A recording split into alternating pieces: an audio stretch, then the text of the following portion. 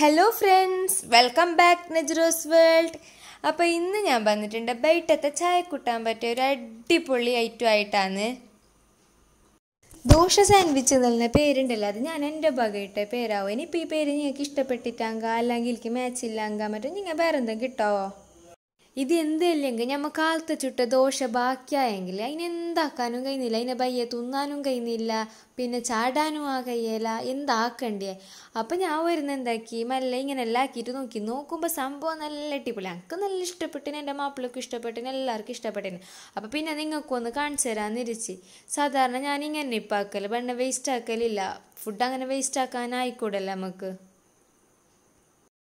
ഈനുണ്ടല്ലോ കാലത്തെ ബാക്കിയായിരുന്നു നാല് ദോശ എടുത്തിന് ഉള്ളിയും പച്ചമുളക് എടുത്തിന് മയോണീസ് എടുത്തിന് ചീസ് എടുത്തിന് രണ്ട് മുട്ട എടുത്തിന്. ഇത്ര തന്നെ പാണ്ടിയ ഇനി നമുക്കൊരു ഓംലെറ്റ് ആക്കേണ്ട പണി മാത്രമേ ഉള്ളൂ.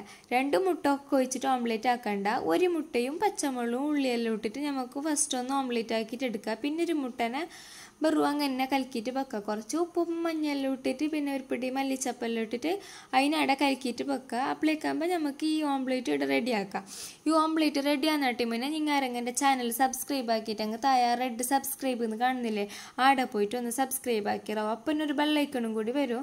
അത് ഓൾ എന്ന ഓപ്ഷനും കൂടി എനേബിൾ ആക്കിയിട്ട് വെക്കുക അപ്പോഴേക്കാകുമ്പോൾ നമ്മൾ മുട്ടയുടെ മറിച്ചിട്ടിട്ടിട്ട് ആയാവോ?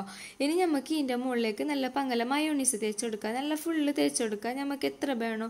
ആ വേണ്ട എത്ര മയോണീസ് നല്ല പങ്കല തേച്ച് കൊടുക്കുക ഇനി നമുക്ക് ഇതിന്റെ മുകളിലേക്ക് പിന്നെ ബാക്കിയുള്ള ഒരു രണ്ട് തള്ളാനും കൂടിയിട്ട് ഇതിന്റെ മുകളിലേക്ക് വെക്കാം. തള്ളാനില്ലെങ്കിൽ നമ്മൾ ദോശ. അത് വെച്ചിട്ട് ബാക്കി ഒരു മുട്ട നമ്മുടെ കലക്കിയിട്ട് വെച്ചിട്ട് എന്തുടാണ്ട് കലക്കിയ? ഈ ഇതെല്ലോട്ട്. ഈ മുട്ടനെ നമുക്ക് ഇതിന്റെ മുകളിലേക്ക് നല്ല പങ്കല തേച്ച് കൊടുക്കാം.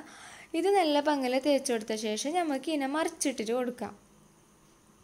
ഇത് മറിച്ചിട്ടിട്ടാകുമ്പോഴേക്ക് നമുക്ക് ഇതിന്റെ മുകളിലേക്ക് ഇനി എന്താക്കാം? അല്ലെങ്കിൽ ചീസ് ഉണ്ടല്ലേ? നമ്മൾ അമൂലിന്റെ അമൂലിന്റെ ചീസ് ചെറിയ ചെറിയ കഷ്ണാക്കിയിട്ട് ഫുള്ളൊന്ന് സ്പ്രെഡ് ആക്കിയിട്ട് വെക്കുക. നല്ല ഫുള്ള് നമുക്ക് എത്ര വേണം വേണ്ട എത്ര ഇടാം നിങ്ങൾക്ക് ജാസ്തി വേണമെങ്കിൽ ജാസ്തി ഇടാം. കുറച്ചും വേണം കുറച്ചിടാം ഇടാൻ ഇഷ്ടമില്ലെങ്കിൽ ഇട്ടില്ലെങ്കിലും ആവും.